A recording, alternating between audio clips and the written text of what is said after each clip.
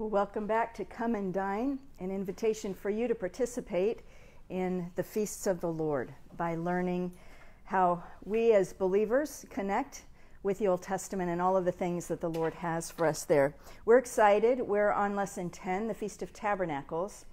I already gave part one of this message, and so if you didn't get to hear it, you'll want to go back and hear that. It is full of pictures of Christ and all that He's done for us, and I am excited to share this second part with you today.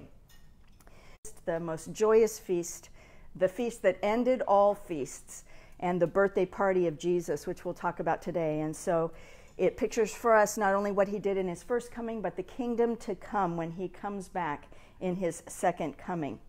And so uh, you and I will celebrate this feast in the millennial kingdom every year, going up to Jerusalem, along with all those who will go to worship the Lamb who is the Lion of Judah, the Lord of all. And so I'm excited to share with you today all of the pictures that we have, looking forward into that time that the Lord has given us. So, as I shared with you last week, I am a kingdom girl at heart. And what that means to me is I long for the day when the kingdoms of this world become the kingdom of our Lord, Christ. I love what Elizabeth I of England said hundreds of years ago when she said, I wish I could be alive when Christ returns because I would like to be the first earthly monarch to take my crown and lay it at his feet. Having read the faith and heart of Queen Elizabeth II, I believe that she would echo those words as well in our time. What a day that will be when kings bow down. In fact, that's the first thing I want you to see today. Kings will bow down at Christ's second coming, just as they did at his first coming which was his birth. Look at what Psalm 72, 11 and 17 say. All kings will bow down to him, and all nations will serve him. All nations will be blessed through him, and they will call him blessed. When the Magi came and found Jesus after his birth in Matthew 2, they said this Where is the one who has been born King of the Jews? We saw his star in the east and have come to worship him. On coming to the house, they saw the child with his mother Mary and they bowed down and worshiped him. Then they opened their treasures and presented him with gifts of gold and of frankincense and myrrh. So, as I shared last week in detail, God set the timing of Christ's birth at the Feast of Tabernacles, just as he set the timing for Christ's death at Passover.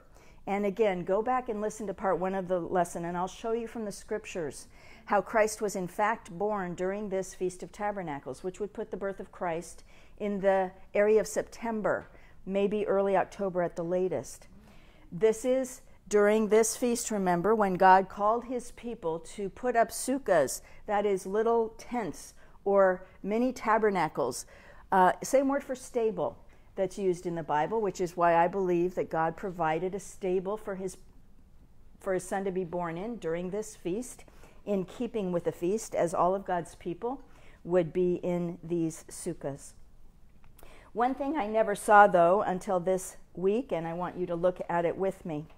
Look at what the Lord says in Leviticus 23. On the 15th day of that month, the Lord's feast of unleavened bread begins. Remember, Passover is a part of unleavened bread. The Lord's feast of unleavened bread. Then look at verse 34. On the 15th day of the seventh month, the Lord's feast of tabernacles begins. Did you know this is said of no other feasts? And I didn't even see that until this week, even though I wrote this study 20 years ago and taught it then. No other feast. It is his Passover. It is his Feast of Tabernacles. Why? Because it commemorates his birth when he makes all things new and his death when he gives life. So let's look together again at this great feast, his feast, commemorating his birth and the rebirth of the new heavens and the new earth when he returns someday. As I've already said, it's the longest feast in the Jewish calendar year. It's the largest, it's the most joyous feast. And I am excited to share with you today these last gifts that I began with last week of all the marvelous things God has packed into this feast for you and for me. So let's pray and ask the Lord to bless this time. Father, we thank you for the mighty and majestic name of Jesus. We thank you for all that he has done for us in his mercy. We thank you that he is King and Lord of all, and he will return one day and rule and reign on this earth, making all things right and new. I thank you for all the pictures we will see today of that. Holy Spirit, I pray that you would come and be our teacher, guide us into truth. And as we sit at the Lord's feet, may you fill us to overflowing with joy and gladness and a spirit of reviving in our hearts to walk in all you have for us in these days as we await that day. In Jesus' name, amen. Well, as I've already said, the Feast of Tabernacles was Jesus' birthday. So God, in fact, put in place, I believe, a birthday party for his son, and God's people were practicing this for hundreds of years before Jesus actually came. And like every birthday, a birthday comes with gifts, and so I see seven gifts in this feast. And as always, Jesus is the one who is giving, not the one who is receiving. So last week we looked at the first three gifts. Let's just look at them quickly again together. We saw the gift of relationship, which is the first gift of this feast. As I told you, God with us, Emmanuel. Why did God put a tabernacle or a tent in the middle of his people? Because he wanted to live in their midst. He wanted to return as much as possible to Eden when he walked with Adam and Eve in the cool of the day. As we see at the end of the book of Revelation, when he will live among us again, being our tabernacle in presence because he longs for relationship. And so during this feast, he asked his people to build sukkahs or tents again, these structures that were uh, had three sides and were topped with palm branches that would remind them of the temporary structures that they were in when they journeyed from Egypt to the promised land and to remember his provision and his protection and most of all his presence there. So today, God's people build these sukkahs for the Feast of Tabernacles or Sukkot all over the world. And here are some pictures I showed you last week of these dwelling places that God's people will live in. It's happening right now in Jerusalem and around the world. So this is a great time for you and I to be talking about it, the gift of relationship, because he longs to be with us, Emmanuel, in every way. The second gift that came with this feast was a picture of the gift of redemption. So we talked about how key living water was in this feast. In fact, they dipped into the pool of Siloam and poured it out on the altar every single day, calling it living water. And we know that Jesus Christ stood in John 7 at this very feast and said, This is about me. I am the living water. If any man wants to come and is thirsty, I will pour this living water upon him. It will flow from his very being, the rivers of the Holy Spirit. They would also use palm branches uh, to wave and worship the Lord during this time. In fact, it was during the Feast of Tabernacles that this ceremony happened every single day. God's people actually lifted it from the Feast of Tabernacles and put it into Passover when they did this same thing when Jesus entered Jerusalem, crying out, Blessed is he who comes in the name of the Lord. Hosanna, save us now. They were acknowledging the lordship, the kingship of Jesus, but as sometimes happens, he wasn't the king they hoped for, and so they ended up crucifying him. During this feast as well, we see the picture of water and wine that is poured out on the altar every single day. In the same way that Jesus would pour out water and blood from his side when he completely redeemed us, the gift of redemption. It's pictured in this feast in such an incredible way. And then we see the gift of rest. We know that this feast uh, has Sabbath to Sabbath on, it, on each side, meaning that God wanted that sense of rest to be built into this feast. It reminds us that our rest comes through the work of Christ and Christ alone. There's nothing we can do to work for our salvation. We have complete rest in Him. And He wants us to live in that place of rest with Him and in Him as we walk with Him every day. We know that when he comes back in his kingdom, it's going to be time of peace on earth, and that's why the angels said to the shepherds when Christ was born, Peace on earth, goodwill toward men on whom his favor rests. This sense of peace on earth will be a feature, a key feature of the kingdom when Christ returns. And so we see the gift of rest. Those three gifts we looked at in detail last week. Now let's look at the last four, seven gifts that the Lord gives us through this incredible feast of all feasts. So, Gift number four, the gift of revival. The gift of revival. Now, when the glory of the Lord surrounded the shepherds at Jesus' birth and later the disciples at Christ's transfiguration, God was pouring out his fullness upon them, as he longs to do for us through revival. This will again happen in his coming kingdom. And it's such a powerful picture. You'll see it in the prophets. Look at what Joel 2 28 and 29 says. And afterward I will pour out my spirit on all people. Your sons and daughters will prophesy. Your old men will dream dreams. Your young men will see visions. Even on my servants, both men and women, I will pour out my spirit in those days. One of my favorite verses that pictures this in the coming kingdom in Habakkuk 2:14. For the earth will be filled with the knowledge of the glory of the Lord as the waters cover the seas even as God filled his tabernacle, filled his temple with his glory, how he extended that to the shepherds when it said that the glory of the Lord surrounded them like a tabernacle, like a tent. And the disciples on the Mount of Transfiguration, again, the glory of the Lord surrounded mere men. This is a picture of the revival that the Lord wants to bring. He will bring it in the kingdom, but when you and I pray for this glory to come back to his people now, to come upon our hearts and homes and our churches, this is what we're crying out for that his glory would be seen again in such a dynamic way. And so there are three pictures in this feast of this revival. The first is fresh wind. Each day of this feast, the priests would cut willow branches, some 25 feet in length, and then proceed back to the temple each day, waving them in multiple rows, creating the sound of a mighty rushing wind to represent the fullness of God's presence. This is how the Holy Spirit came to believers on Pentecost, filling them all. Acts 2 tells us that. And remember what an incredible picture this is because the Holy Spirit departed God's temple in the book of Ezekiel because of the wickedness of God's people. And then he returned in Acts chapter 2 when he came as a mighty rushing wind.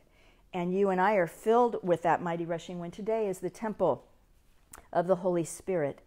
And so this fresh wind is a picture of his work. Now, the one who led this parade, this procession every day, while playing a flute, was called the pierced one. Just as through the piercing of Jesus, we have received the indwelling of his Holy Spirit. Isn't that amazing? Called the pierced one because actually a flute is pierced, and that's the way that it makes music. And so they named it that, not knowing that they were foretelling what their Savior would do for them. His Spirit will again fill not only the temple and his people in the coming kingdom, but the whole earth. So, how full are you of his Spirit today? Do you need fresh wind in your sails? Then I want to invite you to ask for it. In Acts 2, he came as a mighty rushing wind. And you know, in Acts 4, when they went through some persecution, they were back in the upper room praying, crying out to God. And you know what they asked for? A fresh filling of His Spirit. They asked for boldness in the Lord. And it says that the place was shaken again and God filled them again. We go through fresh fillings. We should be asking for this all the time. The Spirit of revival asks that a fresh wind would come. And I think we need to cry out for that today. Another gift, another picture that comes that's a picture of revival through this feast is refreshing rain. So, this feast was a celebration of the rains that watered the harvest, as well as services of prayer for more rains to come. This was the only way that God's land was watered in the Holy Land. These rains picture Jesus in his early and latter, or first and second, comings, and the spiritual harvests that would follow as well as picturing us returning to the Lord for revival when we are far from Him. All of those themes are found in the book of Hosea, in Hosea 6 3. When God's people say, Come, let us return to the Lord. He has torn us to pieces, but He will heal us. He has injured us, but He will bind up our wounds. After two days, He will revive us. On the third day, He will restore us, that we may live in His presence. Let us acknowledge the Lord. Let us press on to acknowledge or know him intimately. As surely as the sun rises, he will appear. He will come to us like the latter rains, like the early rains, that water the earth. But because of sin and stubbornness and self rule, God's people often experienced dry hearts and lives. Through repentance and returning, God longed to pour this living water upon them, as He does upon us. This outpouring of water was a consistent picture of what He would do in the coming kingdom. You'll see it throughout the prophets. Look at what Isaiah 44, 3 through 5 says For I will pour water on a thirsty land and streams on the dry ground. I will pour out my spirit on your offspring and my blessing on your descendants. They will spring up like grass in a meadow, like poplar trees by flowing streams. One will say, I belong to the Lord. Another will call himself by the name of Jacob. Still another will write on his hand, the Lord's, and will take the name Israel. How we need this reviving rain to fall upon our hearts, upon our homes, upon our kids, upon our land. I don't think I have ever seen women more desperate for a reviving rain to fall upon their children and bring healing and raise them up in the way they were taught. We taught them to walk in truth. And so many of them have been disillusioned with the church in the last several decades and have walked away. And we are desperate for this reviving rain to fall upon us once again. That is what the Lord wants to do so much in each of our hearts. And again, I would just encourage you ask for it. Zechariah 10 1 says, Ask for rain in the proper season, ask for it. This is the proper season, sisters, to ask for rain to fall upon our homes again. So, as I told you, many believers flock to the Holy Land. They do this during Passover to experience the place where Jesus died for them. But many believers go during the Feast of Tabernacles as well. And those who go during this time get baptized often again there to demonstrate this refreshing outpouring of the Holy Spirit. And this is actually a picture of believers during the Feast of Tabernacles getting baptized or rebaptized and making this refreshing rain with their hands to call forth the Holy Spirit. It's a picture of revival. During the Feast of Tabernacles, work crews were sent out months in advance to build up the roads, to make them straight again, to remove any obstacles or stumbling blocks that would keep the pilgrims from walking a straight path to Jerusalem. That's what the prophet Isaiah talks about in Isaiah 40 when he says, Prepare the way of the Lord, make ready the paths. It will be called a, high, a highway of holiness for the people of God to come to Jerusalem and celebrate this feast in his kingdom. And he will do the same work in our lives now as we await his coming if we will ask for the reviving rains and live in his holy ways. Isaiah 35 talks about that highway of holiness. In fact, the entire chapter is about this feast and about the fulfillment of this in God's coming kingdom refreshing rain. And then we see the picture of fresh fire as a picture of revival during this feast. So there were four lights in the court of women of the temple that would be lit each evening of this feast. There was a party every night. High candelabras or menorahs, 75 feet high. And four young boys would climb tall ladders and pour out the oil that kept those lamps from going out. Wicks were made from the priestly linens, which they called swaddling cloths, another picture of the birthday of Jesus. And these enormous birthday candles shone so brightly there wasn't a home in Jerusalem that couldn't see the light. And I want to remind you that that is what God wants for us. That our priestly garments would be so saturated in the oil of the Holy Spirit that we would shine His light everywhere and often it is children and our youth that spark the flames of revival, just as those little boys climbed that ladder and filled those bowls with oil. And we should ask the Lord to fall with power upon them as it falls upon us.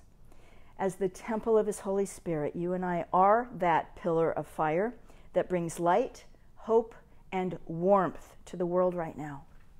Someday in the coming kingdom, the Lamb will be the light and there will be no more night. Revelation 21 and 22 tells us. Somebody has well said that it is time for the Church of Jesus Christ to stop complaining about the darkness and turn on its light. Don't whine, shine. And I love what Isaiah 61 and 2 says Arise, shine, for your light has come, and the glory of the Lord has risen upon you. See, darkness has covered the face of the people, in deep darkness the earth, but the Lord rises upon you, and his glory appears over you. Is that not talking about our time right now?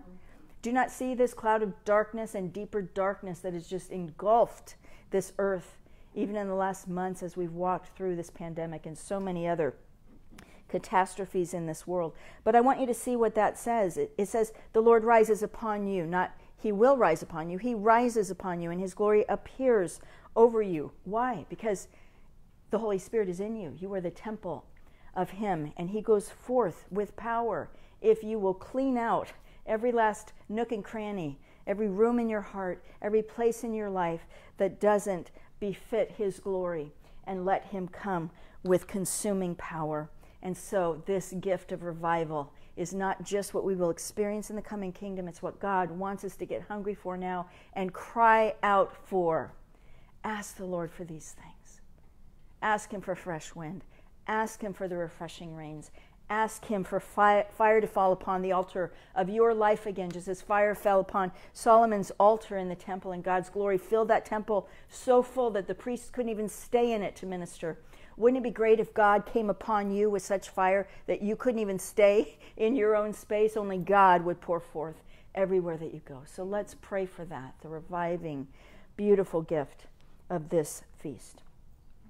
Then we see the gift of rulership. The gift of rulership as Christ comes back to rule and reign.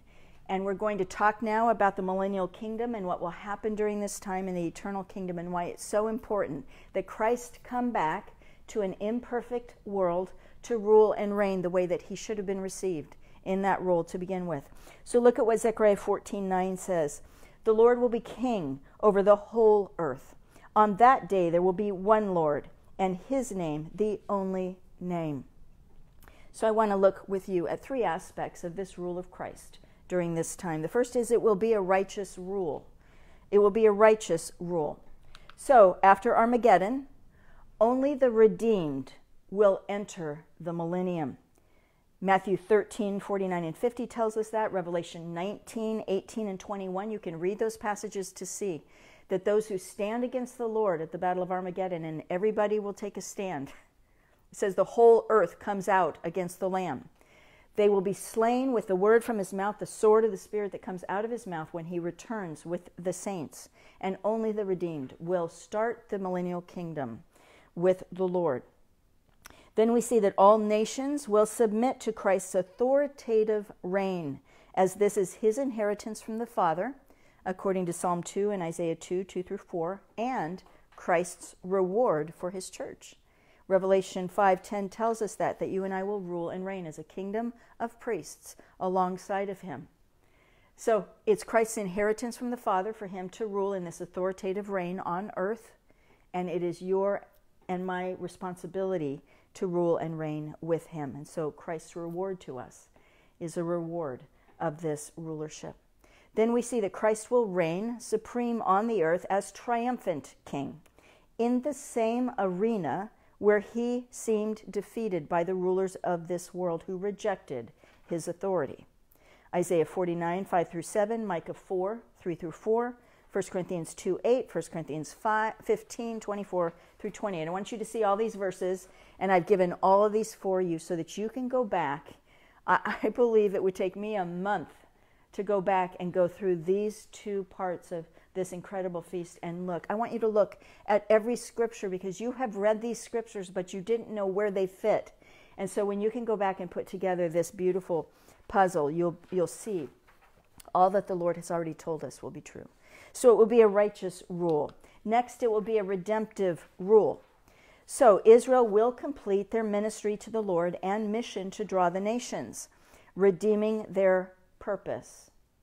So Isaiah 61 6, 66, 19 through 21 tells us this Israel will be a main feature as they perform their priestly duties in the temple of the Lord from Jerusalem, as they take on all of the things that God called them to do initially because the commission was given to them first at Sinai It was given to Abraham first to be the father of many nations, but then it was given to God's people that they would establish a land where they would live in such a way that the nations would see that God is the Lord. And they didn't end up living up to that. And so then the Great Commission was a restated mission to us as the church to go forth into all the world and do the same. And so Israel will live up to their purpose, completing the work that God has for them. That's why the Feast of Tabernacles is also called the Feast of the Nations. And I want to remind you that it is our commission as well, and that's what you and I are to do until the Lord comes, that all may know him. Then we see that all the earth will come to worship the King in Jerusalem during this time and appear for the Feast of Tabernacles every year, redeeming the worth of the Lamb before the world. Obviously, the worth of the Lamb is imperishable and precious beyond means. But we will put on display the worth of the Lamb before the world, and they will acknowledge the worth of all that he has done. We see this in Zechariah 14, 16 through 17.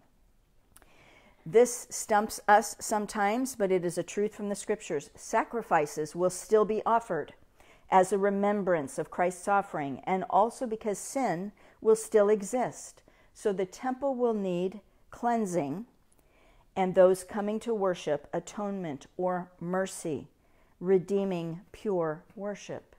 So just like Israel was covered in mercy at the at the mercy seat of the Lord on the ark of the covenant until a day when they will receive the grace of Jesus Christ, all of those who are born during the millennium and come up who have not yet accepted Christ as Lord will need a covering of mercy to appear before him, to come into his presence, so sacrifices are offered as that same Old Testament paradigm and picture until the time that they will be redeemed.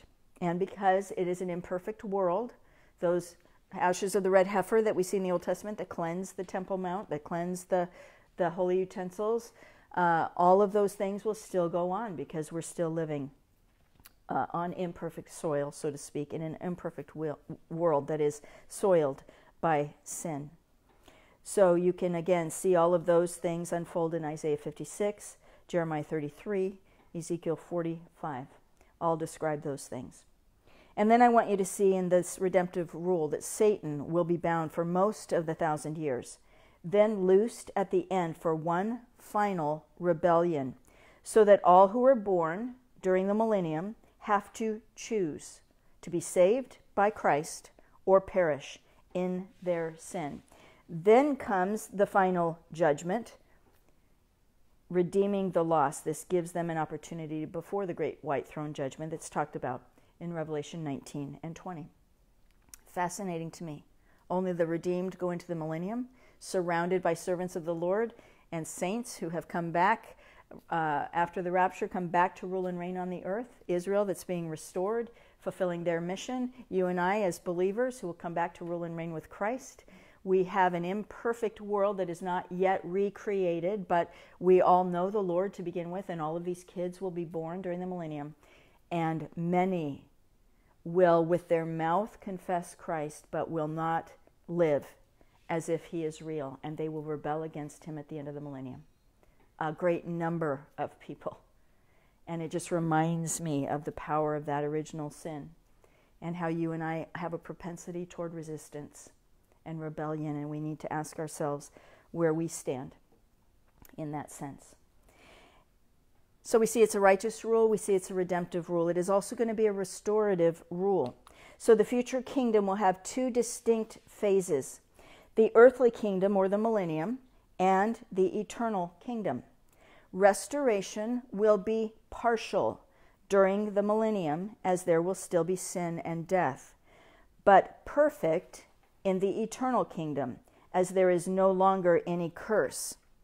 So, your books and chapters to look at this are Isaiah 11, Isaiah 64 through 66, Zechariah 12 through 14, Amos 9, Joel 2, and Revelation 20 through 22.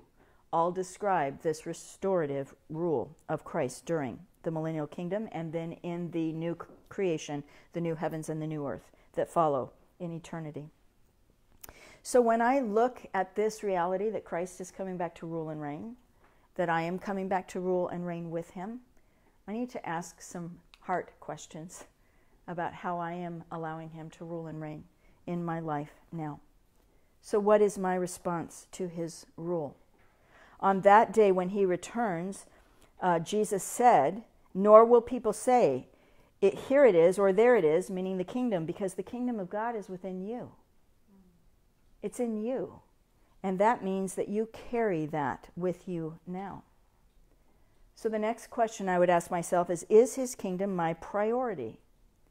Jesus said in Matthew 6:33, "Seek first his kingdom and his righteousness, and all these things will be added to you." Do you not realize that is to be my priority right now in my life? Do you know what your future job description is according to Revelation 5 and 10? You are a kingdom, priests who reign on the earth. That's what you'll be doing. Revelation 3:21 says he'll share his throne with you. Let me say that again. He'll share his throne with you. And that's why Christ said in Luke 16:10, "He who is faithful with little, I will make faithful with much." Whatever you do now for the Lord and are faithful in, he transfers to your account for the day that you will rule and reign and represent him as judges of the earth. In fact, this is what Paul was talking about in 1 Corinthians 6 2 when he said, You will judge the world. And then he asked the Corinthians, Are you not competent to judge trivial cases now? Are you not practicing that skill set right now? Are you not seeking for the wisdom of the Lord to factor in how you live and judge things now? Is his kingdom my priority? And am I preparing for that great task by being faithful in the tasks He gives me now. And then I have to ask is He precious to me?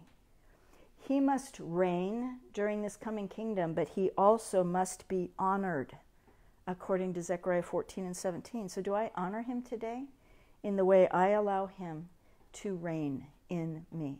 Am I fully surrendered to all that He is and all that He has for me? and am I producing fruit in keeping with his kingdom?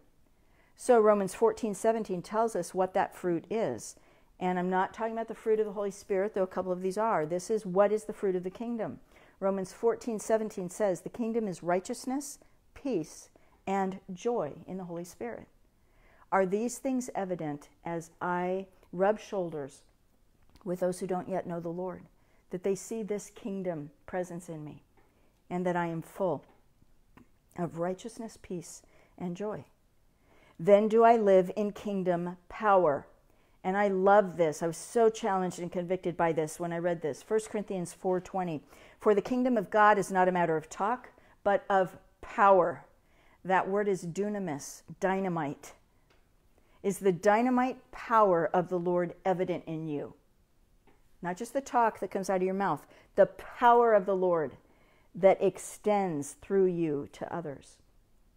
And then, do I live in the light of his kingdom authority in me now?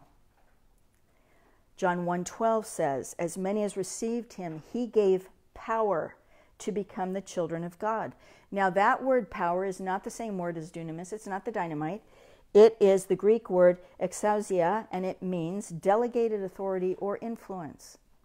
So what was said of our salvation was as many as would receive Christ, to them would be given the delegated authority to influence the world. Are you living forth that delegated authority? Are you mantled with all that God has given you in order to um, achieve Christ's mission now, which is to bring his redemptive rule to people's lives? What a powerful picture this gift of rulership is. And I have a lot to sit with right there before the Lord and ask myself, surrendering whatever I need to surrender to let Him be the sovereign of my life and to rule and reign in a powerful way that is undeniable to the people around me. The sixth gift that we see in this great feast is the gift of restoration. We see this all through the prophets, and we marvel at how the world will be restored, first in the millennial kingdom and then finally and perfectly in eternity. But look at what Isaiah 9 7 says Of the increase of his government and peace there will be no end. He will reign on David's throne and over his kingdom, establishing and upholding it with justice and righteousness from that time on and forever. So he's going to restore in several different ways. And the first I want you to see is the restoration of creation. All of us watch creation literally groaning in these days with hurricanes and floods and fires devastating the earth with pollution that is taking away the purity of our ecosystems. But look at what Romans 8 20 through 22 says. For the creation was subjected to frustration, not by its own choice, in hope that the creation itself will be liberated from its bondage to decay and brought into the glorious freedom of the children of God. We know that the whole creation has been groaning as in pains of childbirth right up to the present time. And so during the millennial kingdom, the Lord Jesus will begin to restore creation. And we see this in a, a, number of different ways. There will be the taming of the animal kingdom, where they will not be predatory anymore. We see that when we hear that um, animals will lie down together and not devour one another. There will be a cessation of conflicts between nations, between people. There will be a restoring of destroyed lands and seas. Disease and deformity will be greatly diminished. Remember, people will die during the millennium, but many will die of old age. And the scriptures tell us that a youth will be considered young at the age of 100. So we know that lifespans will be greatly extended again. People will be profitable in the work that they do. There will be productive work rather than war. There will be a flourishing of nature. You can find all of that detailed in Isaiah 11, 29, 30, 35, 30, uh, 33, 35, 65, and Jeremiah 31. You have heard many of those verses before, but if you will go back and read these chapters, you will see this Feast of Tabernacles unfold and what it's going to look like in the coming kingdom. And then we're going to see the restoration of Israel. This is a main feature of the millennial kingdom. Now look at what Romans 11:12 says. But if their Israel's transgression means riches for the world and their loss means riches for the Gentiles, how much greater riches will their fullness bring? When Paul describes to us that you and I as Gentile believers have been grafted into Israel in Romans 9 through 11, that Israel didn't fulfill their purpose, but because they didn't walk in it, you and I are brought into the kingdom of God. And you and I get to walk in the fullness that was meant for God's chosen people originally. All of us together now being chosen before Him, Israel, when they are restored to Him in their fullness. There are many Jewish Christians today, and that's a beautiful thing. They are completed in their faith. That is like double portion blessing. But this will happen in His coming kingdom in such a rich way. And what Paul's saying here is if they're lost, the fact that they didn't walk in salvation and receive Christ in grace, if, if that became your gain because he came to the Gentiles and now you have been enriched in him, how much more will that be true in the coming kingdom when their riches will mean greater fullness for you? And so we will see that in the coming kingdom. I love what Thomas Ice and Timothy Demy say in Prophecy Watch. The church and the nations, Gentiles, will be present and active during the millennium, but the focus of prophetic revelation is on Israel and Christ. That is why we can never say in our theology that the church has replaced Israel. It has not. There is so much of the Bible that speaks to how Israel will be restored during this time. And so we see the restoration of Israel as a main feature of this coming millennial kingdom. In fact, the Feast of Tabernacles is also called the Feast of Ingathering because they will be gathered back to the land, gathered back to the Lord during this time. So, how will we see the restoration? We see it in the regeneration of their hearts, according to Jeremiah 31 31 through 34. We see it in the regathering from the nations to their promised land in Isaiah 11 11 through 12, verse 6. We see it in the repossession of the land that Ezekiel 36 talks about. And then we see it in the reestablishment of the throne of David, as David will sit as co regent with Christ, ruling and reigning, as his kingdom, the kingdom of David, was an everlasting kingdom. God gave him that promise. And then we will see it in the restoration of the holy priesthood of the Levites, Israelites who will serve the Lord in the temple. We see that in Jeremiah 33. 17 through 26, the restoration of Israel. Not only will the Lord restore creation, restore Israel during this time, but there will be a restoration of fellowship. So God will restore everything that was lost to us in the Garden of Eden. And many features of the garden and heaven will be seen again. So if you read these great chapters in Ezekiel 47 and Revelation 21 and 22, you'll see this. His throne will be with us again, His presence. The Almighty and the Lamb are its temple. The glory of God will canopy us. The Lamb will be the light. There will be a river of living water. The tree of life will be there. There will be constant fruit on that tree as there was constant fruit in the Garden of Eden. And then there will be a holy community that will be one with one another and one with the Lord, just as Adam and Eve walked with God in the cool of the day again. So we will have a beautiful restoration during that time, but just a reminder to you right now that He wants a restoration for you in your life now. You picture this, you picture what's coming in the kingdom in the way that God restores your life, in whatever way it's broken. And the first thing He wants is He wants you freely restored. Freely. This is what Isaiah 61, 1 through 4 says. And we're going to unpack these verses next week when we talk about the year of Jubilee. I am so excited about that message. We don't understand the year of Jubilee, but it pictures for us everything that Jesus won for us on the cross that you and I can walk in now and everything that is coming in the coming kingdom. And so it matters. He wants you freely restored, He also wants you fully restored. He wants you new through and through. So I love this word, baptizo, in the New Testament Greek. It's the word for baptism. And it literally means dipped and dyed, like a, a like a cloth that's dipped and dyed and becomes something completely different. That is the word for baptism, and that was the picture. You go down into the waters in the death of Christ, and you come out in the life of Christ completely brand new, just like he was restored in his resurrection, completely brand new. You are, in fact, a new creation. All things are new in you, 2 Corinthians 5.17 says. The Greek wording in that passage is sparkling new superior, like the new heavens and the new earth, a total metamorphosis or transformation. The Lord wants that for you now. He doesn't say you're going to get that someday in the coming kingdom. He says you are that now. And so you picture that. In Ephesians 2:10, Paul said that you are a new masterpiece of the Lord. You are Christ's workmanship, created in Christ Jesus to do good works that were pre- prepared beforehand that you would walk in them. That word in that verse, workmanship, is, is the Greek word uh, poiema. It's the word for poem. It's a, it's a beautiful, artful, masterful piece.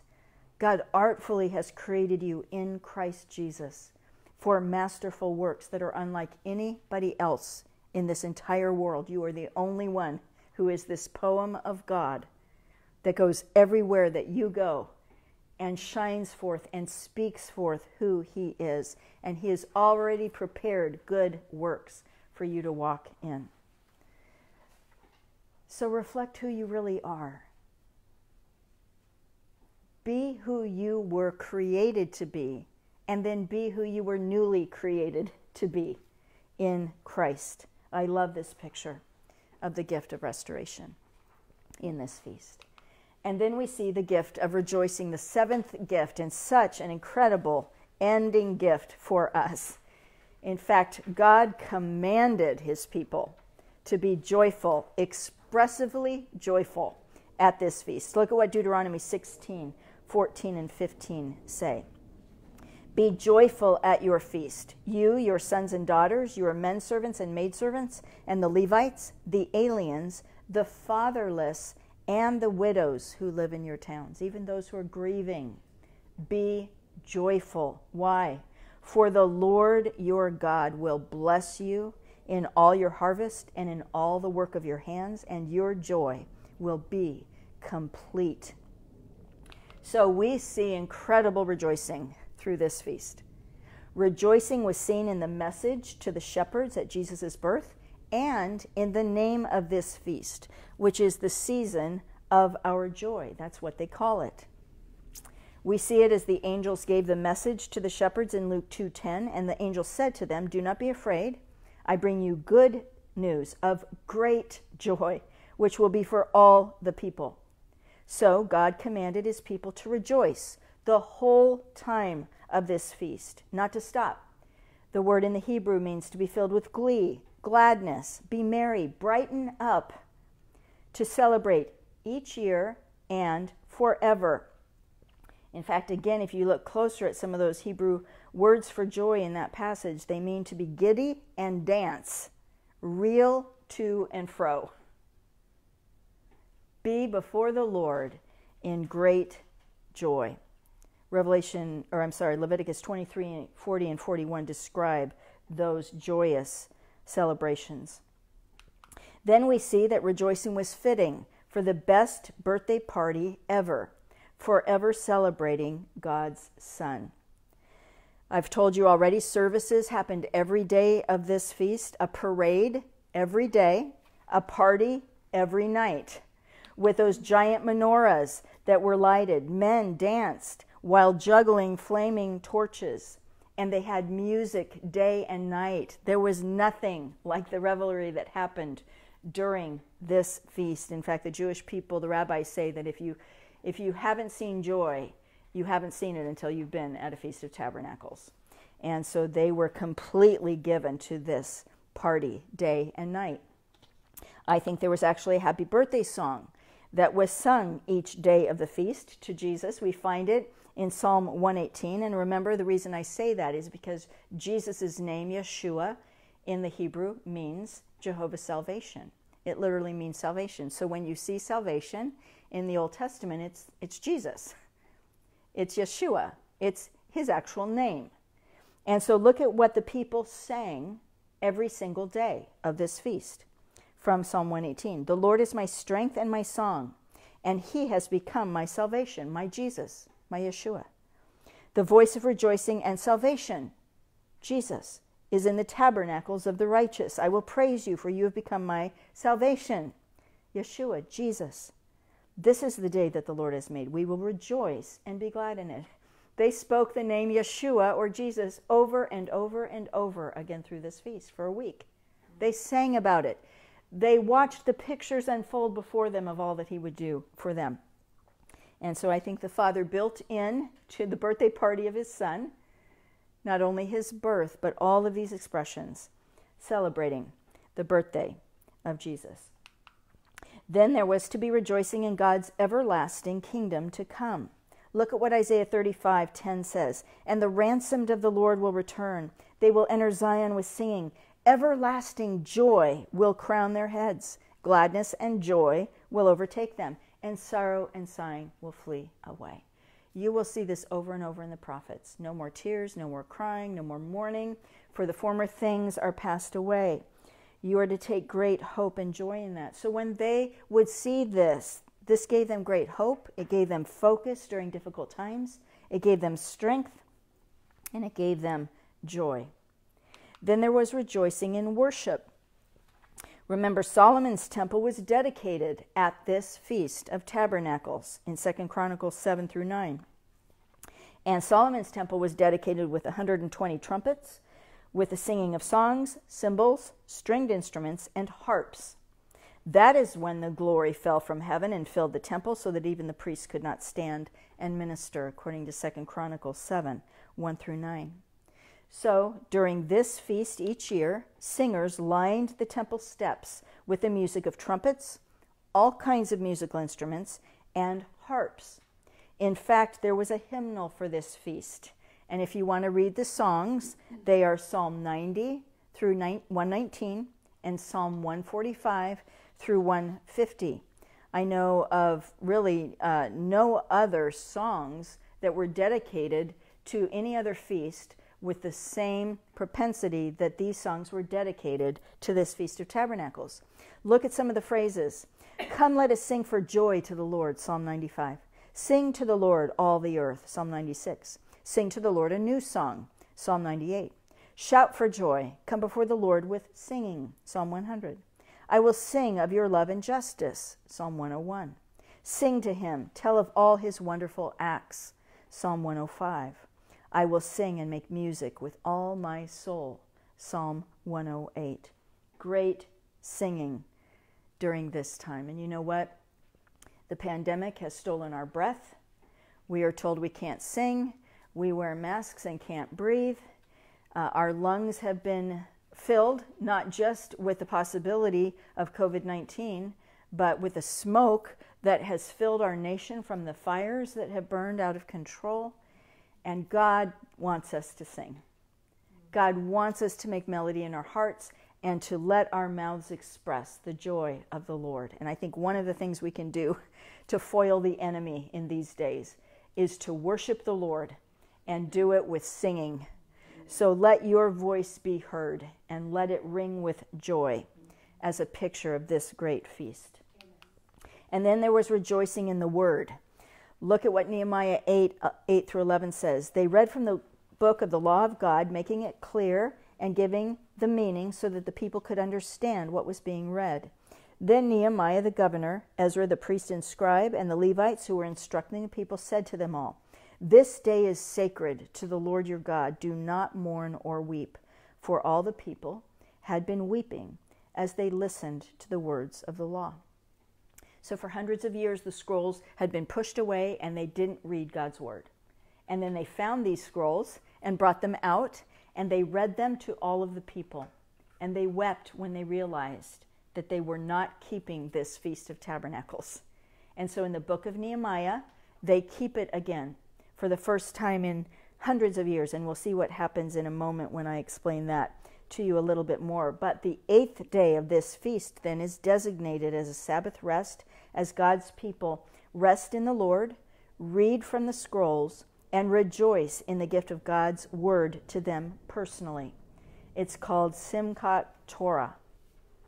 They turn the Torah, that's their term, reading the last chapter of Deuteronomy and then the first chapter of Genesis in order to teach their children that all of God's word should always be read.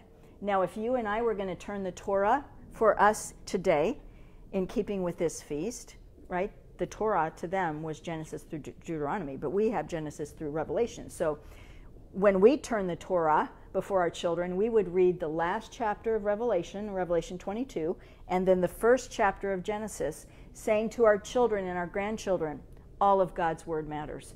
All of God's word is profitable. All of God's word should be read all of the time. What a beautiful picture they were passing on from generation to generation. Then each person had the opportunity to dance with a scroll as they rejoice in the gift of God's word to them. And here are pictures today of God's people dancing with the scrolls all over the world in Jerusalem, in the streets of New York, uh, at the Western Wall. And I love this picture of this little boy holding his scroll and dancing before the Lord as he holds God's word in his hands and says, This is for me. This is precious to me. And wow, I love the statement that that makes. And I wish we had something like this so that we could fully appreciate all that he has given us in that. Did you know that more scripture is read during this feast and more teaching done about the scriptures than at any other feasts? And this is why Jesus taught more at this feast than he did at others, teaching specific truths about himself that matched the themes of Sukkot. You'll see that in John 7 and 8 and 9. If you want to understand, now that you've studied the Feast of Tabernacles, what Jesus was saying and what he was doing during this feast. Read John 7, John 8, and John 9. All three chapters take place at just one Feast of Tabernacles. In the same way, truth will be taught in his coming kingdom. This will be a feature of the coming kingdom. Look at Zechariah 8 3. This is what the Lord says I will return to Zion and dwell in Jerusalem. Then Jerusalem will be called the city of truth and the mountain of the Lord Almighty will be called the holy mountain. Don't you long for a city of truth? Don't you long for the truth of the Lord to go forth in power across the earth? There, was rejoicing in the word of God. Then there was rejoicing in the bounty of the Lord. Remember, this was a Thanksgiving feast. This was the end of their final harvest when they said thank you to the Lord for all the bounty that he had given them. Look at what Jeremiah 31:12 says. They will come and shout for joy on the heights of Zion. They will rejoice or be radiant in the bounty of the Lord, the grain, the new wine, and the oil, the young of the flocks and herds. God wants that spirit of thanksgiving in our home, in our heart. I love that Israel has a year round harvest calendar of thanksgiving, starting with Passover, seven feasts, including a weekly feast of Sabbath, that they worship the Lord and thank Him for all the benefits that He gives to them. Ending with this great feast of all feasts, great gratefulness. Billy Sunday has said if there is no joy in your religion, there's a leak in your Christianity somewhere. And I think, especially in this difficult season, finding ways to express gratefulness to the Lord is so good. Not just for our hearts, for our spirits, it's good for our emotions, it's good for our minds. Because in this time, the world has taken us down to the mat. And every way that you can find gifts of gratefulness. Do you know that God has so blessed us during this season? there have been blessings we didn't even anticipate that we needed that have happened because of this pandemic. And God wants us to be in a constant state of gratefulness. Then there was rejoicing because the best is yet to come. The best is yet to come. Look at what Isaiah 65, 17 through 19 says Behold, I will create a new heavens and a new earth. The former things will not be remembered, nor will they come to mind. But be glad and rejoice forever in what I will create. For I will create Jerusalem to be a delight and its people a delight, a joy. I will rejoice over Jerusalem and take delight in my people. The sound of weeping and of crying will be heard in it no more. This is what is pictured in Christ's very first miracle in John 2, which is actually called a sign when he turned water to wine. What was the point of the sign? That in the coming kingdom, the best will be last. I am saving the best for last.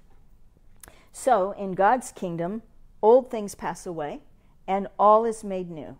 Death leads to life, mourning or sorrow to joy, growing old to youth being renewed. And that's what we have to look forward to. As Rabbi Jonathan Cahn has said, the ways of God all lead to joy, and the best he saves for last. What an incredible time that will be. So, as we look at all of this rejoicing, just from cover to cover rejoicing during this feast, I have to ask you how is this sense of great joy evident in you, in your life right now? Look at what Isaiah 12, 4 and 5 says. In that day, you will say, Give thanks to the Lord, call on his name, make known among the nations what he has done, and proclaim that his name is exalted. Sing to the Lord, for he has done glorious things. Let this be known to all the world. Did you see that? In that day, you will say, It will be evident in you one day. What about this day? So let this joy strengthen you in every season, especially a season of sorrow or sighing. I referred to Nehemiah and how the people reread the book of the law. They realized they hadn't kept the Feast of Tabernacles. They wept. And Nehemiah said, Don't weep. Let's keep the Feast of Tabernacles. This is where this great verse comes, and you may not associate it with the Feast of Tabernacles or that sense. But look what Nehemiah 8:10 says. Nehemiah said, "Go and enjoy choice food and sweet drinks. That's rich dessert and Starbucks. And send some to those who have nothing prepared. This day is sacred to our Lord. Do not grieve, for the joy of the Lord is your strength." Did you know that's where that phrase came from? It's from this Feast of Tabernacles and the sense that all of us should celebrate it with great joy. And when you are in a sorrowful season, when you are in a place of darkness, the joy of the Lord is your strength. And I love that. They ate great things during this feast. Choice food in the Hebrew literally means fatty foods. Go and eat fatty foods because fat in God's kingdom is a source, uh, that oil is, is abundance to the Lord. Go eat fatty foods and drink sweet drinks. Get your fill of them in celebration for all that God has done. Well, as we wrap up today, I want to say, may our hearts be tuned to the joy to the world as we await his coming. You may not realize that, but when Handel wrote this great song, it was not written to be celebrated at Christmas. It did not convey the birth of Christ, it conveyed the kingdom of Christ to come. It was written about the millennium. And so let me read these words to you because you will sing them in a few weeks. And I hope any time you hear Joy to the World from now on, you will not look to a stable where a baby lay. You will look to a soon coming king who will rule and reign. Listen to these words Joy to the world, the Lord is come. Let earth receive her king. Let every heart prepare him room, and heaven and nature sing. Joy to the world, the Savior reigns. Let men their songs employ, while fields and floods, rocks, hills, and plains repeat the sounding joy. No more let sins and sorrows grow, nor thorns infest the ground. He comes to make his blessings flow far as the curse is found. No more curse.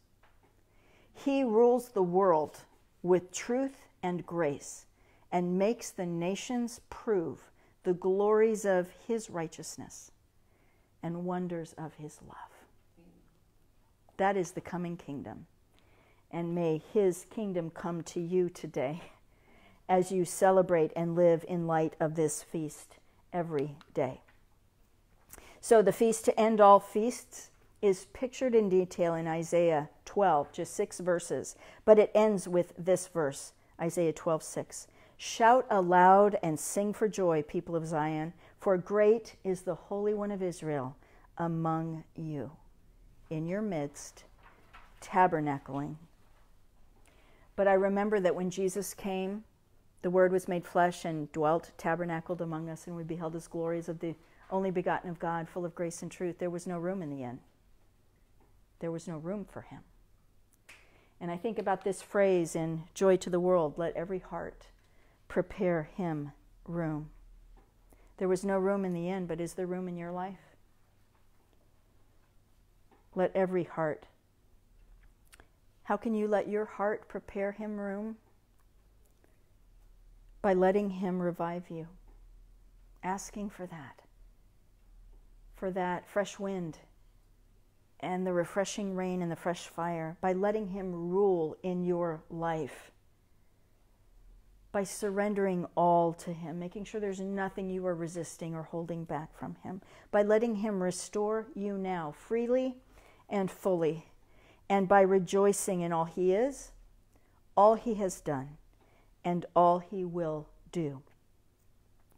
Will you let His kingdom come in a fuller way in your heart today? This doesn't always happen to me, although the Lord always gives me all of my messages. But as I was preparing this message for you, the Holy Spirit spoke three things He wanted for you through this feast as I share. The first was that you would feel enfolded, knowing just how much God loves you and longs to wrap you in His grace and glory. Just as the shepherds were surrounded with His glory, just as the disciples were surrounded with His glory, that you would feel a heavenly hug. He who dwells in the shelter of the Most High abides in the shadow of His wings, that you would feel that. I love when they make these sukkahs you can see in this picture, they put a crown at the top of the sukkah to remember that, that the Lord is crowned. But look at how intimate this tent is because it's the intimacy, it's the relationship that He wants. And He wants you to feel enfolded in understanding the beauty of this feast, the beauty of Him coming to be among you, in you, in your midst, in the middle of your life. The second thing the Holy Spirit showed me was that He, he wanted you to feel encouraged especially as you see the day of his coming getting near. That's what Paul told us. Encourage one another, especially as you see the day draw near. That means you and I should be encouraging each other like we have never encouraged each other before. walk forward, walk in faith, walk in great power in these days because He is soon returning. And the third thing is that you would feel empowered to be all that He made you to be. That your life would be dynamite as you go forth in resurrection power. That you would understand that you are delegated authority of Christ everywhere that you go in order to influence this world. So please remember how you live your, ni- your life now will determine what you will be entrusted with in His coming kingdom. So be wise and walk in His fullness as you wait for Him. Let's pray. Father, I thank you for the fullness of this feast. Wow. So many gifts you have given us. The gift of relationship, the way that you want to be in our midst, to be with us, Emmanuel. Come. The redemption that you demonstrated through all that Christ would give us through the cross.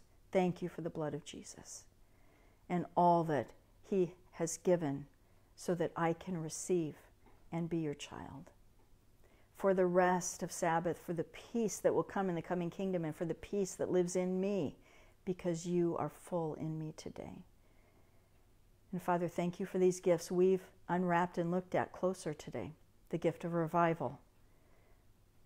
Holy Spirit, come with great power, pour out the Lord's presence through us to the ends of the earth in these days. I pray that you would come with a fresh wind. I pray that you would fill our temples to overflowing, that you would bring the refreshing rains of your spirit and your living water. And Father, that there would be fresh fire, that you would fall upon the altar of our hearts, and that we would burn brightly. Don't whine, shine in these dark, dark days. Thank you for the gift of rulership, and I pray that each of us would take those questions and sit before you and ask Are you reigning supreme in every place in our life? Do the people around us know that you are our King? Thank you for the gift of restoration, and I pray that you would continue to do a good work in us, that you will complete in the coming of Christ Jesus, but that you would rebuild and restore us in every broken down place that we would be your masterpiece, that our lives would demonstrate that you are a God not just of redemption, but of restoration. And thank you for the gift of rejoicing, Father. Thank you that your joy is our strength. May it be our strength in these days. And may we rejoice in your word. May we worship you with great joy. May we sing the praises of our coming King. Father, as we await that day, May you fill us to overflowing, and may we shout in our actions, in our attitudes, and in our words Worthy is the Lamb who was slain to receive glory and honor and majesty. We long for your coming.